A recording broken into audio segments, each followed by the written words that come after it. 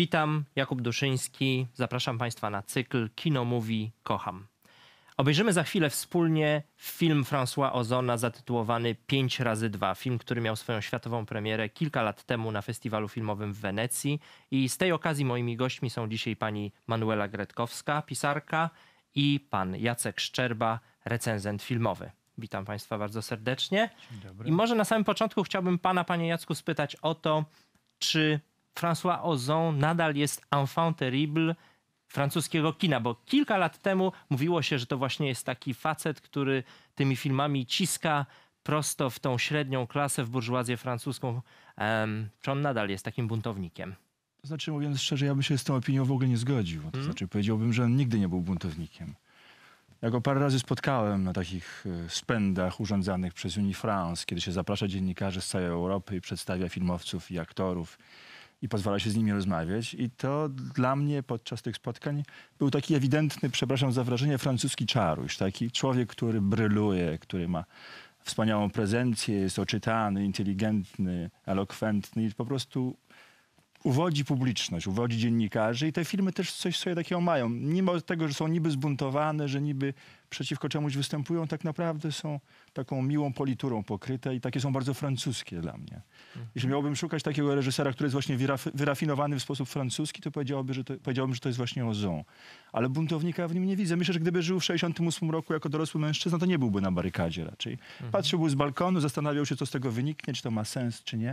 Ale raczej go z buntem nie kojarzę. Znaczy on oczywiście bywa złośliwy, bywa przenikliwy, że potrafi coś zdiagnozować złośliwie, ale, ale buntownikiem dla mnie nie jest. No Także- dobrze, ale to w takim razie kim jest François Ozon? Jako fran- reżyser francuski współczesnego kina. Czy udało mu się odnaleźć jakąś oryginalną, pff, oryginalnego coś w swojej To znaczy- twórczości, co, czym się odróżnia od całej tej masy dziesiątek filmów francuskich, które powstają? To znaczy myślę, że on ma takie, no, to jest banalne sformułowanie, osobiste spojrzenie. To znaczy, że nawet jeżeli bierze gwiazdy typu Catherine Deneuve albo Gérard Depardieu i się nimi bawi, żeby zarobić pieniądze, żeby być właśnie takim reżyserem kina popularnego, to on próbuje te gwiazdy jakoś wykorzystać inaczej. Znaczy, że wbrew ich powszechnemu wizerunkowi, że trochę jakiegoś pieprzu dorzucić. I na przykład, jeżeli mamy Potisz, no, filmu, którym nie przepadam, kiedy mamy właśnie Catherine Deneuve, taką już gwiazdę, która powinna grać taką kokoszkę taką w pewnym wieku, już taką usadzoną i grzeczną, to nagle się okazuje, że jest to kobieta, która mówi nie, nie zgadza się na to, jak powinna żyć i żyje inaczej, nawet jest nieomal kandydatką na prezydenta. Czyli on po prostu ma wszystkie nawyki francuskiego burżuja, a ma jednocześnie coś takiego odrębnego, własnego. Że to wszystko widzę, należy do tego towarzystwa, ale stanę sobie z boku sali i będę się temu przyglądał. Nie powiem, że on jest Marcelem Prustem, ale gdyby pisał, myślę, to miałby takie skłonności właśnie, że specyficzny ogląd rzeczy, którą wszyscy znają, ale on to widzi po swojemu. Quel amour vas-tu t'habiller Les arbres sont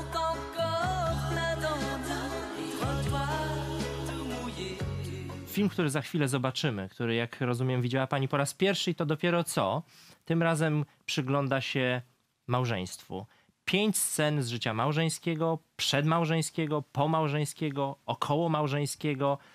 Jakie według pani etapy tego życia, tej przygody, tego związku, który oglądamy, wybrał Ozon? Czy to są kompletnie jakieś przypadkowe sekwencje, czy zobaczyła pani tutaj jakąś taką regułę, logikę? W kinie nie ma nic przypadkowego, zwłaszcza francuskim, kartezjańskim bardzo, bo ten film jest, tak jak pan powiedział Jacek, absolutnie francuski. Trzeba na niego patrzeć w pewnym kontekście.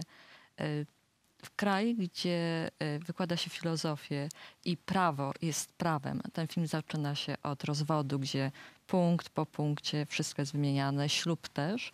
I między tym prawem, które jest ustalone, toczy się życie, ta wolność.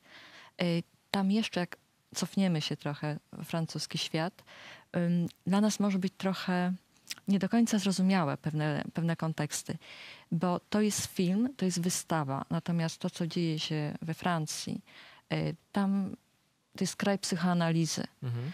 E, rocznica mm, śmierci Lakana i urodzin była niemal świętem narodowym. Mhm.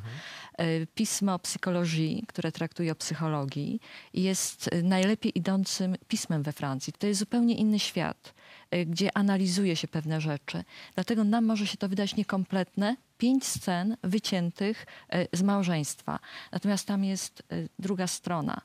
mm, Francuzi mm, mówią, którzy zajmują się psychologią, że małżeństwo to nie są dwie osoby. To jest, policzmy dwie i rodzice z jednej strony i z drugiej to razem sześć osób. No, widzimy tutaj tych Tak. rodziców zresztą. Dwoje nie, ale widzimy efekt ich małżeństwa w postaci bohatera. Więc tam się spotyka sześć osób, mimo że tego nie ma, bo film jest krótki.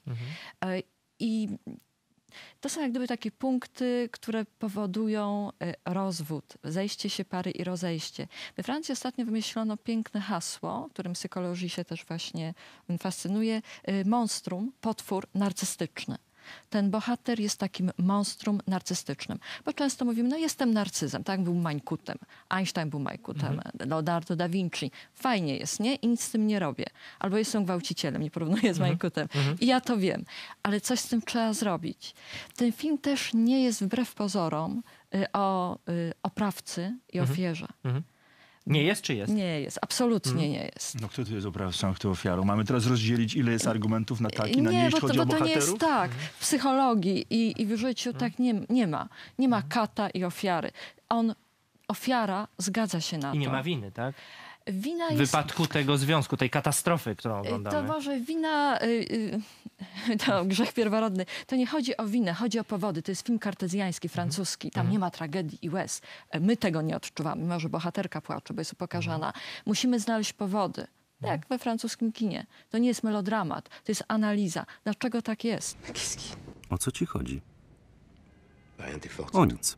Twarda jesteś. Jak to? Rozbierasz się, pozwalasz się bzyknąć i cieszysz się. Jasne, idź się bzykać z innym. Zamilcz. Właśnie, może jesteśmy winni naszym widzom wyjaśnienie. Mówimy o rozwodzie tak, jak to był finał filmu. Tutaj Ozon posłużył się tą przewrotną metodą opowiedzenia tej historii, zaczynając od jej właściwie końca. Czy ten zabieg, pokazanie historii, która cofa się wstecz, to jest coś, co często spotykamy w kinie psychologicznym? To znaczy, mnie przy tym filmie, oczywiście pomijając jego jakby samą historyjkę i to, co ja z niej wyciągam, w sensie jakie wnioski, ale interesowało mnie, po co jest ta formuła. To No, znaczy, no, no. dlaczego opowiadamy w ten sposób, a nie inaczej. E, szukając jakichś wywiadów z Ozonem, dowiedziałem się rzeczy takiej jeszcze bardziej zaskakującej, które akurat pasuje do tego, co pani Manuela przed chwilą powiedziała. To znaczy, że on miał taką swobodę, że nakręcił początek filmu, czyli końcówkę historii i zatrzymał zdjęcia na pięć miesięcy. I potem zaczął się zastanawiać właściwie, jakie ma być to cofanie się. I powiedział jeszcze więcej, że on ten pomysł ukradł Jane Campion z takiego jej filmu wczesnego telewizyjnego, gdzie był film o przyjaźni. Że widzieliśmy rozpad przyjaźni, a potem dochodziliśmy do jej zawiązania. I zdaniem Ozona przy tego rodzaju konstrukcji jakby pewien suspens się tworzy. Znaczy musimy się zastanowić, co będzie na, takiego na początku, czyli na końcu, co to wszystko właściwie ustawia całą tę historię. A potem jest zdziwienie. No, w tym filmie Campion podobno jest tak, bo ja go nie widziałem, że e, okazuje się tylko jedno, na, że na końcu filmu, czyli na początku przyjaźni, okazuje się, że przyjaciele są z zupełnie różnych społecznych jakby regionów. Że Właściwie zupełnie do siebie nie pasują i to wszystko jakby tą historię ustawia. Więc Ozon nakręciwszy zakończenie zastanawiał się, jaki powinien być początek. I czemu, czemu to właściwie ma mu służyć. I żartował sobie nawet, że zaczyna film, w sensie kończy tę historię jak Bergman, a, a zaczyna ją, a kończy film jak Lelouch. Czyli idzie coraz dalej w słodkość, te piosenki włoskie, które wkłada, że właściwie wszystko łagodzi. Ja myślę, że to jest kokieteria, bo ta piosenki to nie jest osiem kobiet z jego filmu. No, to jest troszkę taki jakiś kontrapunkt, jakaś kompletnie Tak, jest- inna rzeczywistość. To są te szlagiery Paulo Conti włoskie i w ogóle takie piosenki, które mówią, że miłość jest piękna i w ogóle wszystko jest cudowne, a tu widzimy na ekranie jakiś jednak horror. Myślę, że tam jest włożona taka zasada w sposób ludzki, zwykły, Hmm. koluzji psychologicznej. Polega ona na tym, jest kilkanaście rodzajów i pewnie obserwujemy to w życiu, że pary się dobierają jak połówki jabłka, ale zatrutego. Mhm. Z sobą nie mogą żyć, ale bez siebie jest jeszcze gorzej. Mhm. I tacy są rodzice tej kobiety.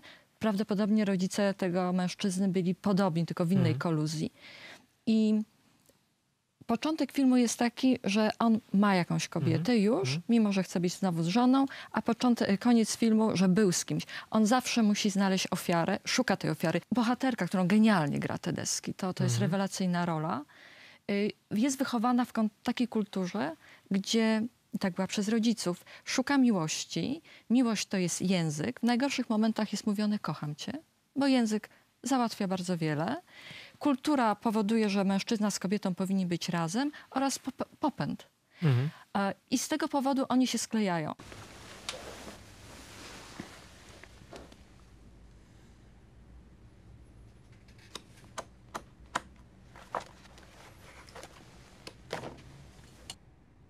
Zależy mi na tym, żebyście powiedzieli, czy dla was ten film jest wiarygodny w jakiś sposób, kiedy mówi o współczesnych związkach, czy pokazuje bardzo specyficzną sytuację, która czasem się zdarza, ale w, ogóle to jest Francja, to jest jakiś margines tego, co, czym są związki współczesne. To są rozwody. Jedna trzecia ludzi się rozwodzi w Polsce, więc jakiś powód jest. Mężczyzna jest troszkę pokazany właśnie karykaturalnie jako to monstrum, a z drugiej strony pokazane są punkty najmocniejsze, co się dzieje między nimi.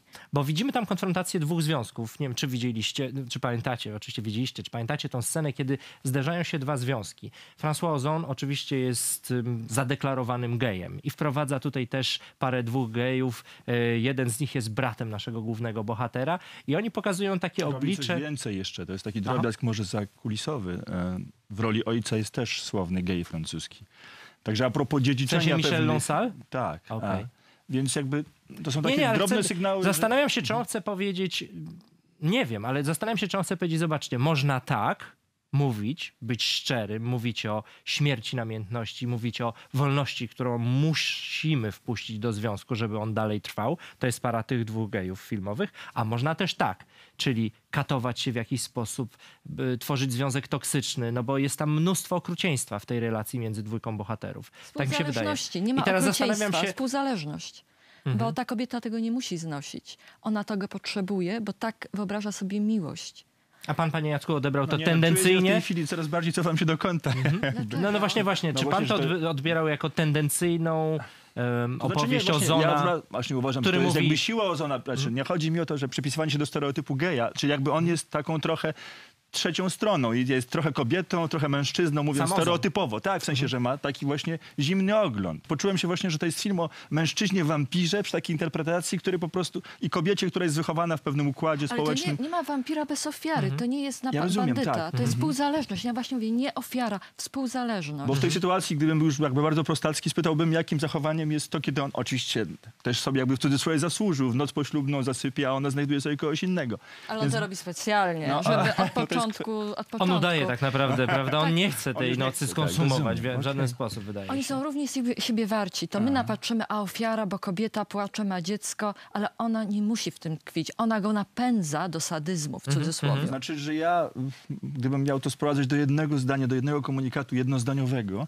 to Nie, być może jest tak, ale nie, to jest czasami dobre, że być może Ozon właśnie z tego swojego kąta dla mnie sugeruje nam, że to, to w ogóle nie jest możliwe, że ta para mężczyzna i kobieta to się raczej nie sprawdza. No. Mhm. Nie wiem, że ma być mężczyzna i mężczyzna, to nie o to chodzi, tylko że pokazuje, że to jest w ogóle coś takiego, co się raczej rozchwieje ni- niż się sklei. No. On pokazuje, Jest to- że koluzja nie jest, znaczy jest możliwa, bo to małżeństwo rodziców trwa. Mhm. Y, Pytamy, co jest niemożliwe, aż do rozwodu, czy w ogóle długi związek. To jest tylko koluzja, to jest właśnie taki związek, gdzie to jest niemożliwe, bo się nie kochamy, nienawidzimy, ale, Ale, to nas trwamy, ja rozumiem, szczepia. no więc tak, no więc I koluzja istnieje, ale są też związki, które nie są koluzyjne.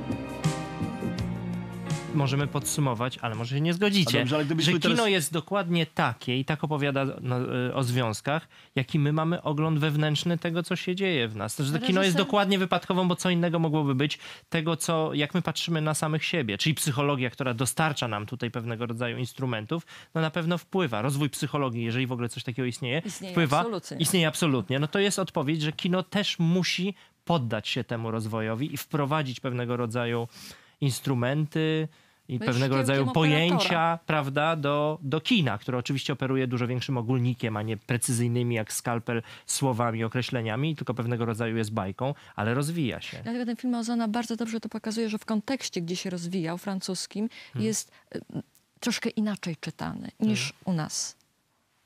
Dobrze, a gdybyśmy mieli zastanowić, czego się dowiadujemy o Ozonie z tego filmu, to jaka byłaby odpowiedź? Ja Myślę, uważam, że że, jest- pesymistą, ale z drugiej strony, tak jak on mówi w wywiadach, tutaj niczego nie wymyślę, mówi ciekawiej jest brnąć w te problemy i przyglądać się temu, niż żyć w próżni kompletnej. Nie ma innej drogi, a z drugiej strony ta droga nie ma w niej dużo nadziei. Dobrze, jak zmieniają konteksty? Myślę, że byłby jeden dosyć tandetny kontekst, gdyby ten film powstał dzisiaj. To znaczy we Francji zwłaszcza, a powstał pewnie w kilka innych. lat Bruni temu. wygrała, No, siostra nie, nie, no jej. właśnie o to chodzi, że byłaby mowa, że oto proszę, starsza siostra pani prezydentowej. Jakby dorobione by do temu jeszcze inne rogi, czy tam A jeszcze przecież inne. ona jest wspaniałym reżyserem Tak. tak. Tedeski. To Tak. nie Tak. jest siostra pani. No nie, Boże broń, tylko że stałaby się nią z powodu kontekstu. No. Myślę, że to jest właściwy moment, żebyśmy obejrzeli ten film raz jeszcze, przyjrzeli się tej opowieści François Ozona. Ja Państwu bardzo dziękuję za spotkanie, a Państwa zapraszam na 5 razy 2 François Ozona.